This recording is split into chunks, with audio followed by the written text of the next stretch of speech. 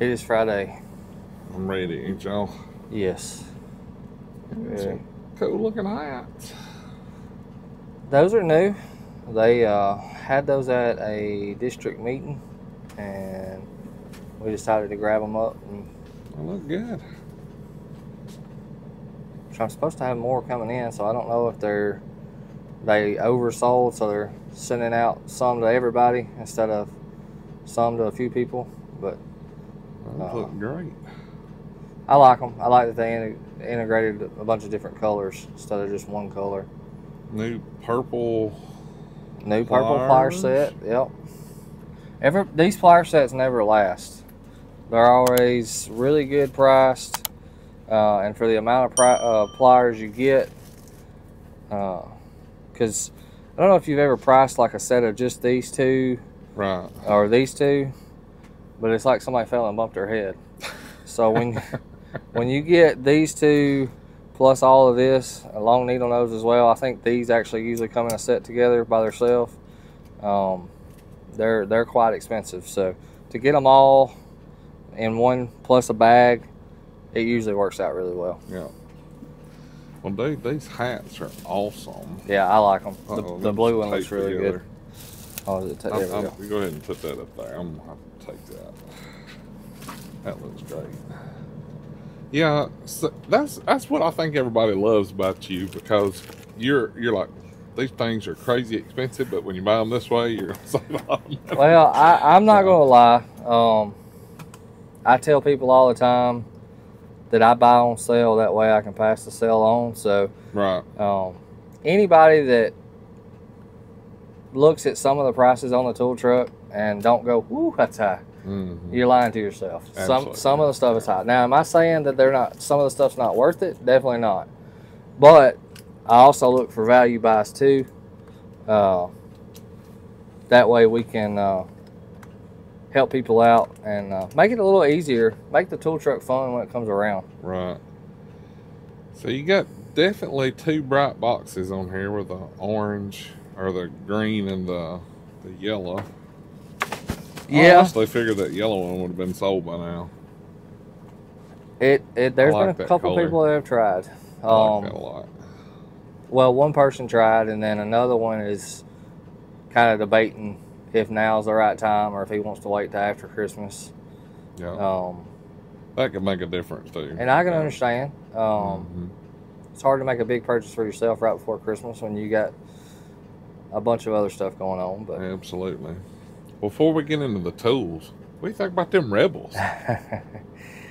I, you know, I told myself before that game um, that I wasn't going to get mad. I wasn't going to get Yeah. aggravated.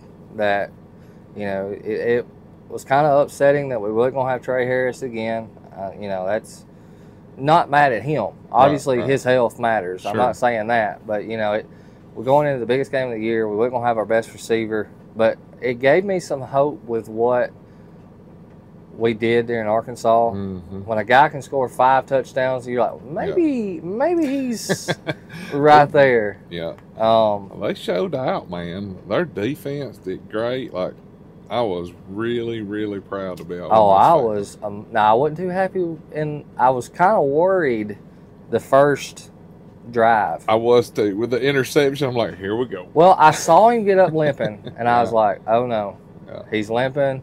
You know, as a quarterback, your feet are the Uh-huh. most important thing. You got to be able to plant. I'm like, this could be bad. Plus, he runs too, so it's like this could be bad. And then the very next play, he throws that interception, and it wasn't an interception of like, okay, he missed a read. No, it was he tried to plant that foot, it didn't go right. It sailed high on him. It just happened. But I'm gonna tell you what, for the third string quarterback to come in Yeah.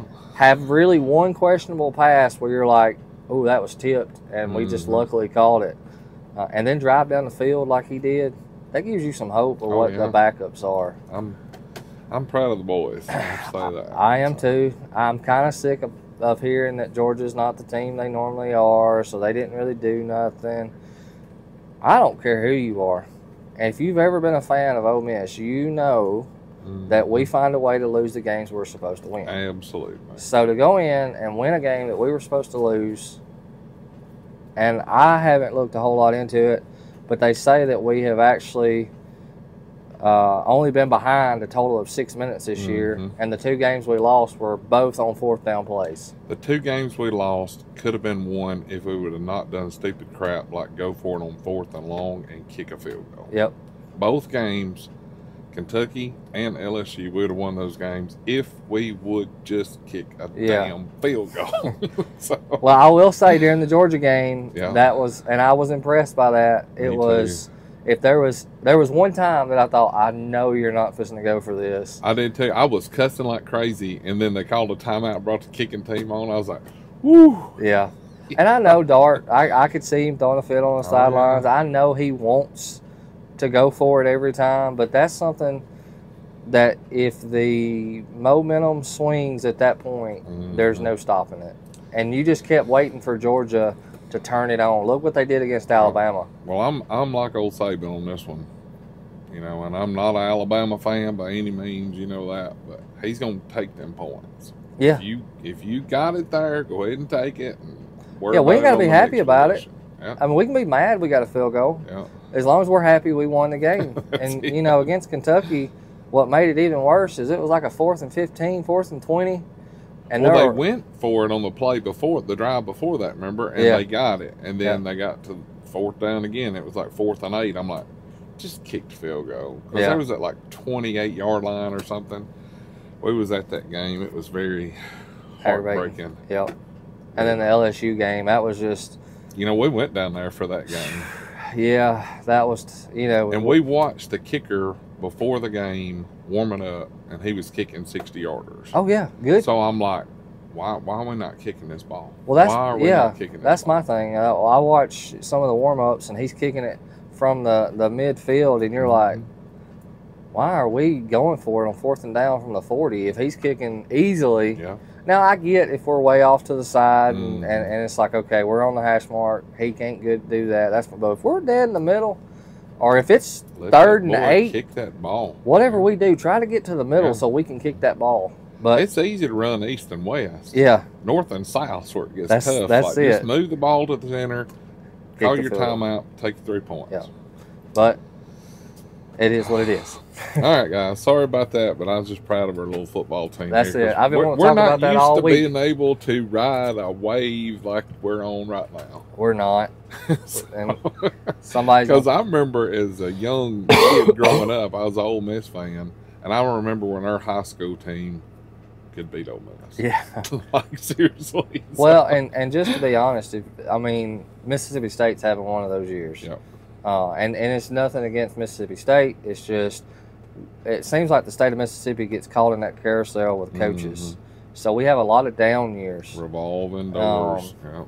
But either way, back to tools, I guess. I'm worried about the state game because I don't know if you've ever seen the history of it Watch that pattern. When Ole Miss got a good team, State beats them. When State's got a good team, Ole Miss beats them. We always have find a way to screw ourselves. We do. We're Um, good at that. That's that's just it, you know, and that's what I was worried about with uh, Florida. I know Florida's not that great this year. They're on their third string But they're quarterback. still Florida. They're still Florida. We always find a way to wreck each other's season, Mm-hmm. and I think they well, said Ole Miss Lagways. did it when Tebow was Yeah. there. Like I was there at that game, and that was Yeah, I was there, but yeah, I think they said uh, Lagway may be back this week, and they're going to play LSU this week. That that's going to be a game to watch because Yeah. if they play LSU a good game, Ole Miss better not have the big head at all. Mhm. They better bring their A game. That's right. So, well, boys, we love football down here in Mississippi. I don't know if y'all noticed that or not, but we So- do. We got two new items this week, along with a new hat. so three new items. But tool related, we got new sockets, which some of you have already seen these sockets. I got them kind of late, um, but they are a new swivel socket. They are 3 8 drive currently. They are making the half inch drive. Okay. Um, so the big thing with these are that they do have a pin in them, but as you can see, the pin is actually welded down, in yeah. and and grounded down. Um, the reason that we are making these sockets is if you have our pinless swivel right now, and you use that 15 like everybody does on exhaust and everything else, you know after a while it becomes sloppy to where this Mhm. has no control at all. Right. Uh, it's steadily falling over. Um, they don't necessarily break all the time, but they do get really loose. And then when they do start to break, usually it's the pin that's popping out. Right. So when Matco looked at that, they have determined that our impacts have steadily gotten stronger and stronger and stronger. Mhm. And they was not designed for that torque level. Right. So when they went to the drawing board, they come up with um, these. Another thing with our other sockets is during COVID, they got almost impossible to get. Oh, Um, and one of the reasons that they were almost impossible to get was even though they were made in the USA, the the blank, the material that was used to make them over here, um, come from somewhere else, and it was really hard to get your hands on. Then we had a quality issue when we could get them; they were breaking a lot more often. yeah. hmm Um, so they, they kind of rushed these along. They've been working on these for a year. They do have them in the short and the deep. This is the short. Does have the pin, but it actually still has the same movement as the pinless. That was the big thing that guys wanted with the pinless was to Right. still have that movement. They are saying that these are made to be able to withstand the higher torque with that welded pin in there. Um, these are also made in the USA. Um, I don't know really how much I'm supposed to say about them, but uh, they did say that the people that make our ratchets for us Mhm. are the ones that's making these for us. Okay. Um, and I think everybody knows that's AJ. hmm Um, so they've always did us really good on our ratchets. They're going to do us really good on these. The markings look great on those. Right. Yep. So they're they're calling these the torque force mainly because of that. Well, like I told you, Right. um, they're all they're making them to do the higher torque. They have a 30 degree pivot angle, so that would be that you know 360 access at that angle. Mhm. Well, they look really good. Yeah. Um, I am going to read off the computer a little bit so I don't mess that up. But it does say that they also reduced the size of the The body. the body. Yeah, you can tell that's a lot smaller than than the old one. Yeah, they that was one thing that they wanted. They wanted that smaller. Normally, with our ADV pin sockets, it has that collar on it. Sure. Um, but with this laser welded pin and everything, it really opened it up for us to be able to do more. Um, now they are uh, the last I heard. If these do what we want them to do, if they ha- if they hold up the way that we want them to hold up, we are going to phase the other ones out Mhm. uh, and go to these. Uh, mainly because those are not like I said, when we had to start getting our blanks somewhere else and stuff, it, the quality kind of dropped, and, and that's not what you want. You don't Right. want to be known for your quality dropping. So, this is how we done it. Plus, we, we really like our team sh- uh, partnership with AJ. They do us really great. So, uh, that helps for me uh, knowing that they're still made in the USA sure. and they still really high quality. So, I've already sold the deep set, or I would show y'all that one as well. Those Uh, are really really nice. Right they're there. they're really nice, and, and it gives me an option to be able to push not just the AJ or not just the ADV or the swivel. Right now, I have these as well, uh, and they are going to last longer. Um, is what I'm excited about Mhm. because the 15s they get you know. There's nothing more aggravating than to put that on an extension and go to put it on the exhaust And and, it flop. and it's Yeah. like and you're trying to get it in there it's tight. Sure. So I I think you got that part number. Um, like when we um when we was doing all those clutch jobs, you know, we wore a 16 out. yeah, and and it was the same way. Like man, you would get up there and you'd almost be because you'd have to use that 36 inch extension, you know, the half Right. inch drive with the three eighths on the other end. You'd almost you'd snake it up through all the crap that you had to get through, airlines and everything. And about the time you was fixing to put it on the head of the bolt, that damn thing would drop down. that's it. So So we've talked a lot about scanners. Yep. Uh, since I've become a distributor, um, the number one thing with scanners is they're so freaking expensive. We Mhm. kind of touched on that in the um, beginning of the video. I do believe our scanners are worth every penny that they are.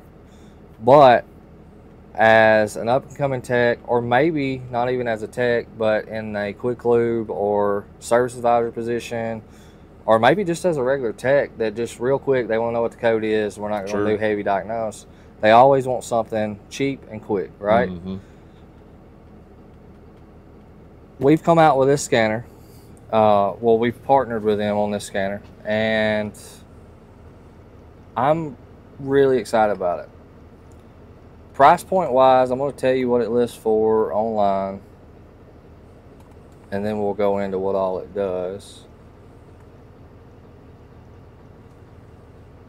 It lists online for 224. Okay. So that puts you down there with like pretty much the Napa Yeah. store type scan tools or code readers. So a while back, MDAC said, "Hey, there's a bunch of scanners that's showing up in shops from Napa, Mhm. Harbor Freight, even Amazon because they're so cheap. We're not looking for one to do everything. We're not looking for one that can d- do the major diagnostic. We just want something that they can plug in, read the code, tell the customer, do you want us to go further? No. Or maybe it's just a gas cap. Maybe you go Sure. in there and it's just a gas cap, clear the code. Maybe you're working on it and I have seen quick lubes unplug the mass airflow, take the bo- the cover off, put the Mhm. filter in, forget to plug it up, try to crank it. Now we got a Now code, got a code, right? and now we got to take it to the back shop, get the technician, or if it ain't a dealership, we got to get the big scanner. Sure. Blah blah blah. This one's really quick, really simple. Um, it's also going to be powered by Repair Solutions too. Um, so it is going to have an app on your phone as well. Uh, I'm going to try it out this weekend and really see how that works out. You know what's would be another good thing for that because I know if you work in a shop, everybody always wants you. Hey man, can you tell me what's wrong with my car? Yep. And you got to drive back to where you work, you know, and get your scan tool. And not everybody owns a scan tool. It may be a shop scan tool, so that would be a good option for a guy to have because. Man, when you learn how to work on shit, everybody's your buddy. Yes, everybody. Like if you want to have a lot of friends, buy a trailer, Yep, have a car lift on a scan tool. yep. Learn how to work on stuff. Well, and you're, you're everybody's buddy at that point. And a lot of a lot of times as well, what places have started seeing is because scanners have got so high, we've started charging a diagnosis Mhm. fee, right? So people have started going to AutoZone, O'Reilly's, the place that scan them for free. Yep. And you think, well, that's not a bad idea. It is a bad idea, and the reason it's a bad idea, and no shame to anybody Mhm. because I don't, I've not met you, but the worst thing that can happen is for them to go to AutoZone, get it read for free, and then that guy behind the counter, his job is to sell See parts. Your part, right? And the problem with that is, whatever that piece of paper says, that's what they think it is. Mhm. So they bring it to you. They With may the have part. bought. They may have bought the part. Sure. They may not have bought the part. But then in their head, they're one hundred percent right. And if you Mhm. tell them any different, you're trying to cheat them. Yeah. The problem with that, we've all, and sometimes it's hundred percent right. Mhm. But sometimes it's telling you to replace an O2 sensor when you have a leak uh, in your intake Sure. uh, gasket or something like that. Mhm. We need to diagnose further than just look. There's no magical computer that's going to tell us Mhm. everything. This one ain't either. And that's one of the things about this scanner is if uh, on the phone app, it's actually going to tell you the most likely fix to it. Now, it says most likely because it doesn't mean it's 100% going to be Sure. there. But it is going to help with At that least too. it's gonna put you in the general vicinity. Right. So it is. It does have the verified fix solutions on there. It does have predicted repairs. It does have upcoming maintenance. It even has TSBs and recalls. That's something else. Sure. If your buddy brings a vehicle to you, you scan it. Especially, okay, we'll go with Tundra because I know Mhm. Tundras. For a while, they had a recall on their pumps and valves, Mhm. or it was a TSB, one of the two. Well, you would get a lot of people that would take their vehicles to these shops and spend thousands When of they could have dollars it fixed for free. for free for Sure. secondary air. So that helps as well. It so is- is that a subscription based thing that you have to pay for, or when you buy the scan tool, all of that's there until? I am uh, going to check further. I believe it's all because it says it's powered by them. I'm pretty sure. Let's just read here for just. I think it all because comes if with it. You don't have to pay a subscription for that, that's worth a lot, like a ton of money to have that. Uh, I will get back on that. Um, like I said, I just got this in last night, uh, and I don't want to tell you wrong. So, Sure. but I do, I do. I'm going to read a bunch of stuff on it, but we're just going to go through some of the stuff that it uh What they don't weigh nothing. Does it does not weigh anything. Holy cow! I was shocked when I picked that up. So it says it does check engines, read and clear, which is we know that. It says it reads and clears OEM engine and transmission, has code pro, uh, priority, severity, and definition. It does emissions and smog check readiness, trip cycles for completing the smog and emission checks, battery and charging system test. It does have live data. That's one of the things about these Mhm. smaller, cheaper scanners. If it don't have Most live data, have it right. then it's kind of hard. We have to go get the big scanner. Uh, it does support all 10 OBD2 models. It does service checks, oil maintenance and reset, ABS brake codes, read and clear, SRS and airbag codes, read and clear. That's something else that some scanners drop off. They don't read and Mhm. clear airbag codes. Now, obviously, if it requires the module to be reprogrammed, like some of your Chevrolets, after two Sure. times it has to be reprogrammed, it's not going to do that. But uh, BMS and battery reset. If you've ever worked on these off the wall cars, uh, I can't remember the exact car that I'd done, but they simply changed the battery, and then immediately after they changed the battery, it went into a transport mode to where you couldn't reset that. Is it a Mercedes? Uh, no, this was a foreign car. I, f- I forget what it was. But, anyways, our big scanner went in and took it out of that. Mhm. It says this one will do that as well. Uh, Does that one release the parking brakes so you can do your own brakes? uh, I'll, I'll read up on that and see. It says it does hybrid battery cell voltage, uh, and it does do TPMS relearn. So, That's There's a really good. yeah, there's a lot packed into this little bitty uh, scanner for sure. I wish I, I wish well, I I could can tell you at that price, you better order some more of them because that should sell So they- extremely well. Yeah, they automatically sent me this one for the new product. And it says that on that repair solutions, it says seamlessly repair with diagnostic tool to deliver the most complete automotive repair database with verified fixes from ASE master technicians. So that is pretty cool. There, no subscription required. Wow. Yeah, so there it is. Damn it, boy, that is amazing. Get free reports and verified fixes repair solutions too. No subscription required. Well, there you go, guys. So that question was answered just by reading a little bit. There's your part number right there. Yep. MDCRADV. So that's pretty awesome there. Yes, sir. It is. Um, that's something that a lot of people automatically charge for because they're like, well, you know, no free advice, right? Yep. So that is pretty cool. When we asked for that, uh, I don't think none of us. Everybody should own one of them if you work on cars, because that way you can your buddies and I'm everybody else one. that's going to ask you about it, right? Yeah, I, I'm going own one strictly because, like you Or said, what's what's even better is you got those buddies. Let me borrow your scan tool. yeah, and they don't realize how much it Like, costs. let me borrow your scan tool where I can work on my car. and they don't realize that that Snap-on scanner you paid eleven thousand dollars. Right? Yeah.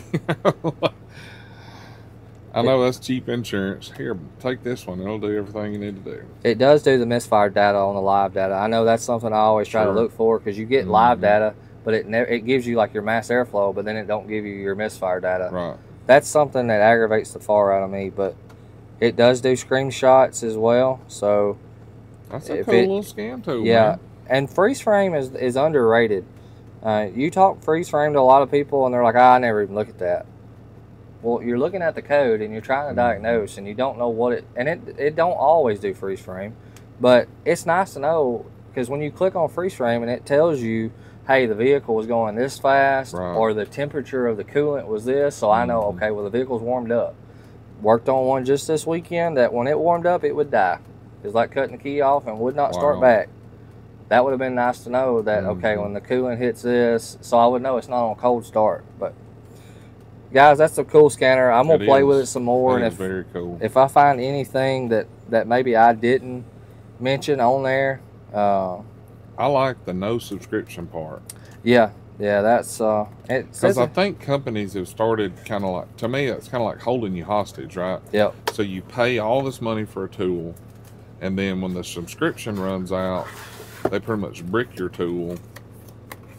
Yeah, You know that's that's kind of some bullshit, in my opinion. Like if you pay for it, you should be able to have at least what you paid for from now on. I Yeah. can see not getting anything new, or maybe Right. not getting like the diagnostic help, you know, Yeah. through the the software. But there's a lot of scan tool companies that it turns your scanner into a code reader pretty much at that point, and Yeah. that's some bullcrap. yeah. I don't like that. And something else that I don't like, uh, I've never been a fan of losing anything. I've already paid for it. Yep. I don't need I to lose agree. it. Um, something that has developed in the last couple of months, and if you work on cars and you have an aftermarket scanner, it will affect you eventually. Is NHTSA has come out, uh, as far as I know, that was the main company, uh, and they have decided due to car thefts that in order to do all keys lost, you're soon going to have to have a license with that, and Sure. uh, the manufacturers of the scanners are going to be blocked um, for, from letting you get around that. Now you'll be Mhm. able to program one key if they still have a key. Right. Um, you know, Dodge kind of does it where you got to have a code or a PIN number. Mhm. Um, but they're going to make it to where it's almost like a locksmith's license, but it's not necessarily a locksmith's license because you can own it and own this license Right.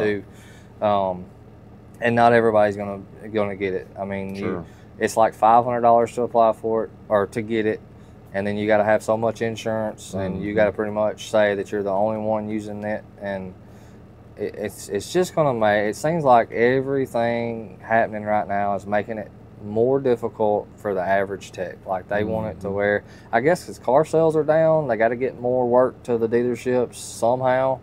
Um, but it's really unfair to ninety percent of the customers that I sell to is just somebody that's trying to make a living. Yeah. You know, and we're none of us is driving up to Memphis programming keys for them guys. Sure. I mean, that's just not Sure. what we're doing.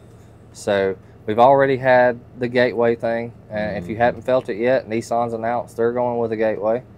Uh, Ford's just gonna go with a gateway. Toyota is rumored to be just gonna go to the gateway, and all of them charge their own fee. So it's like fifty dollars per manufacturer.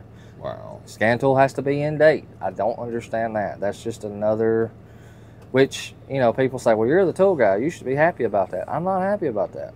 Yeah. I mean, I, at the end of the day, if a guy has to update his scan tool, he's not buying tools off your truck. well, there's I mean- that. There's that, and there's the ongoing cost of a scan Sure. tool, right?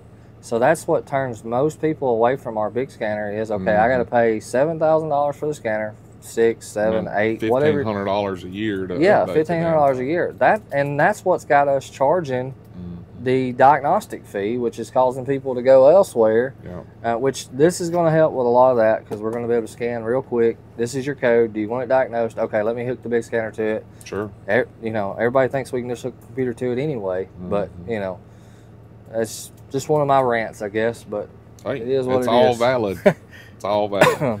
All right, guys. Well, hopefully y'all enjoyed today's video. We got to see some cool products and a super cool scan tool. Like always, thanks for hanging out with us on this Friday. Y'all watch Jake Paul get his butt whooped tonight by Tyson. Hit that thumbs up. Check over here for merchandise. Cool tools and discount goes down here. If you're not subscribed, take your finger, click that button. Have a great weekend. See ya.